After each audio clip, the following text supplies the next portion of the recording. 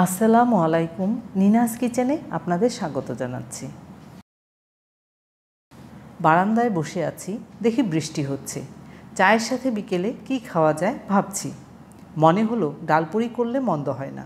মনে পড়ল তিন টাকার ডালপুরির কথা। আজ তৈরি হবে তিন টাকার ডালপুরি। তিন টাকার ডালপুরি শুনে অবাক হচ্ছেন, অবাক হবেন না। এই ডালপুরির দাম তিন টাকা কেন হলো? তৈরি করতে করতে জানিয়ে দিচ্ছি।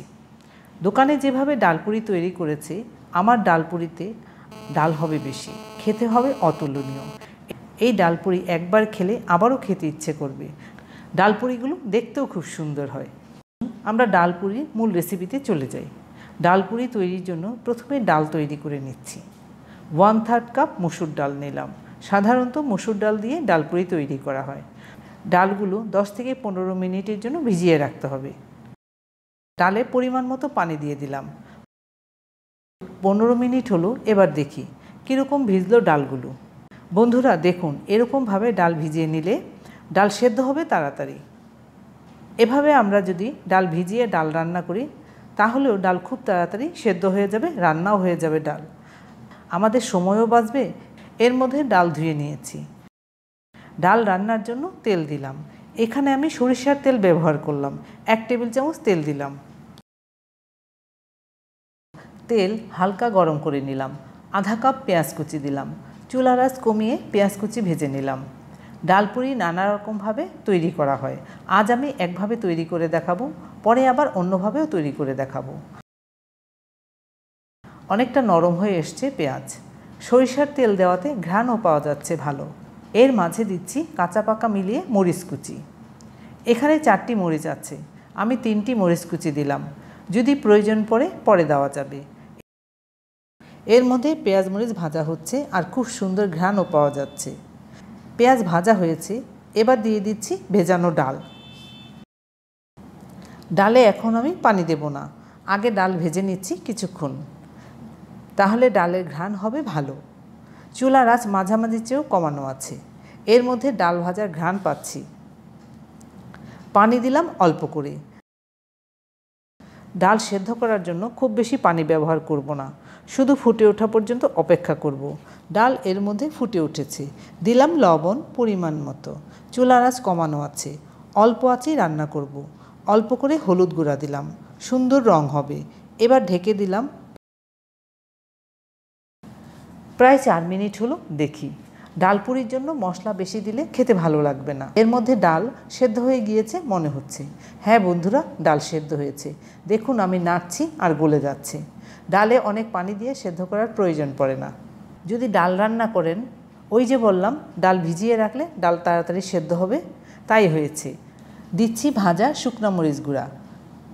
ভাজা শুকনা মরিচ গুঁড়া দিলাম এক চা চামচ তাতে করে ডালপুরি খাওয়ার সময় ঘ্রাণ পাওয়া যাবে ভালো। শুকনা মরিচ মেশাচ্ছি ভালো করে। ডালপুরির টেস্ট ভালো আসবে সেই জন্য দিচ্ছি ধনিয়া পাতা কুচি, এক টেবিল চামচের মতো। ধনিয়া পাতা কুচি আপনারা আপনাদের ইচ্ছে মতো দিতে পারেন। চুলার আঁচ বন্ধ করে দিলাম। এই গরম চুলার উপরই রেখে নেড়েচেড়ে মিশিয়ে দিচ্ছি ভালো করে ধনিয়া পাতা কুচি। বন্ধুরা দেখুন, নাড়তে নাড়তে ডাল শুকিয়েও যাচ্ছে। রান্না করা ডাল পাত্রে ঢেলে দিলাম। ডাল ঠান্ডা হতে থাক, ডাল তো রেডি হলো। এবার ময়দা রেডি করি। ডালপুরির জন্য ময়দা নিলাম দুই কাপ। লবণ দিলাম আধা চা চামচ। লবণ ডালে দেওয়া আছে, তাই বুঝেই লবণ দিতে হবে। আরও দিলাম এক চা চামচ চিনি। চিনি আর লবণ ভালো করে ময়দাতে মিশাতে হবে। তাই করলাম। এবার দিলাম তেল এক টেবিল চামচ। তেলও ভালো করে মিশিয়ে দিচ্ছি। ময়দাতে তেল এমনভাবে মিশাতে হবে যেমন মিশে যায় ময়দার সাথে। এবার দিতে হবে পানি। গরম পানি দেব না, ঠান্ডা পানি দিচ্ছি। পানি একবারে দেব না, বারে বারে দিতে হবে। কারণ পানি একবারে দিয়ে দিলে বেশি হয়ে যেতে পারে, তাই বুঝেই পানিটা দিতে হবে। ডালপুরির ডো খুব শক্তও হবে না, আবার নরমও হবে না। ময়দা ময়ান হয়ে গিয়েছে, এবার ঢেকে রাখছি বিশ পঁচিশ মিনিটের জন্য। এর মধ্যে ডাল ঠান্ডা হয়েছে। দেখি ঝরঝরে হয়েছে কি না হ্যাঁ বন্ধুরা, ঝরঝরে হয়েছে। এবার দেব সেই জিনিস যার দিলে ডালপুরির টেস্ট অনেক বেড়ে যাবে। দিচ্ছি ভাজা জিরা গুঁড়া, আধা চা চামচ। ডাল রান্না হওয়ার পরই ভাজা জিরা গুঁড়া ব্যবহার করি ডালপুরির জন্য, তাহলে ঘ্রাণটা আরও সুন্দর হয়। জিরা গুঁড়া মিশিয়ে রেখে দিচ্ছি। এর মধ্যে বিশ মিনিট হয়েছে, ময়দা প্রস্তুত কিনা দেখি। ময়দা ডালপুরি তৈরির জন্য প্রস্তুত হয়ে গিয়েছে। বন্ধুরা ডালপুরি লেচে কেটে নিচ্ছি। আপনাদের প্রথমেই বলেছিলাম, তিন টাকার ডালপুরি কেন হলো সেটা বলছি, লেচি কাটতে কাটতে। বন্ধুরা, আমি একদিন সাভার পুরনো বাজারে গিয়ে দেখি খুব ছোট ছোট ডালপুরি। আমার কাছে অবাক লেগেছে। কিছুদিন পর যখন আবার গেলাম, দেখি সেই ছোট ছোট ডালপুরি। আমার কৌতূহল হলো। আমি জিজ্ঞেস করলাম, ডালপুরিগুলো কত করে পিস তখন উত্তর আসলো তিন টাকা। কারণ জানতে চেয়েছিলাম, ওখানে তিন টাকার ডালপুরি বেশি বিক্রি হয়। তাই অনেক দোকানেই এই ডালপুরি বিক্রি হচ্ছে। আমার কাছে খুব ভালো লেগেছে, তাই আমি ভাবলাম আমার বন্ধুদের জন্য তিন টাকার ডালপুরি শেয়ার করি না কেন? এর মাঝে লেচি কেটে নিয়েছি।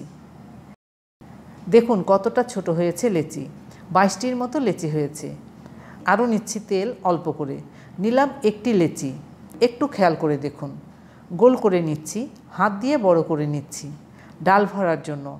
এবার এর মধ্যে ডাল দিচ্ছি, বেশ খানিকটা। অল্প করে দিলে খেতে ভালো লাগবে না। যতটা পারা যায় ডাল দেব। এমনভাবে মুড়ে দিতে হবে যেন ভাজার সময় ডাল বের না হয়।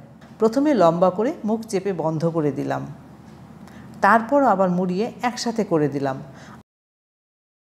আবারও ঘুরিয়ে ডালপুরির মুখটা এভাবে বন্ধ করে দিলাম। ডালপুরি ভাজার সময় মুখ খুলে যাবে না। তারপর আবার ডালপুরির এই দিকটি উপর করে রাখলাম। আরেকটি দেখাচ্ছি। আমি ঠিক একইভাবে তৈরি করে নিচ্ছি। বন্ধুরা, আপনারা আরেকটু খেয়াল করে দেখুন। প্রথমে কুলি পিঠার মতো মুখ বন্ধ করলাম। তারপর মমর মতো ভাজ করে নিলাম। এভাবে সবগুলো করেছি। দুইভাবেই দেখালাম। আসুন, এবার ডালপুরি তৈরি করি।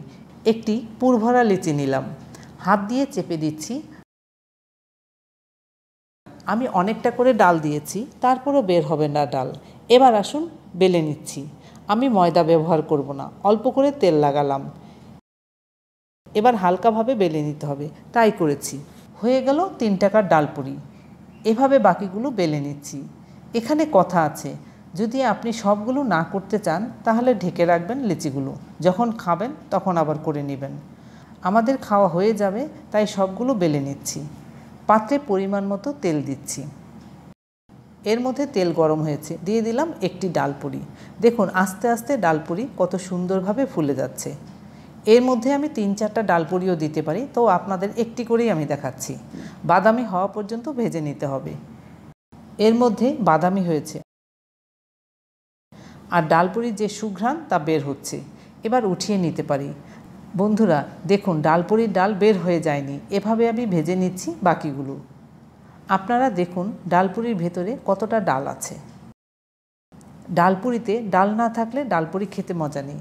আমি যেভাবে করে দেখালাম, আপনারা এভাবে তৈরি করে নিন, আশা করি সমস্যা হবে না। যদি কোনো সমস্যা হয়, আমাকে প্রশ্ন করবেন, আমি উত্তর দেওয়ার চেষ্টা করব। ধন্যবাদ সবাইকে আমার ভিডিওটি দেখার জন্য। আপনারা ভালো থাকবেন ভালো থাকবেন সবাই।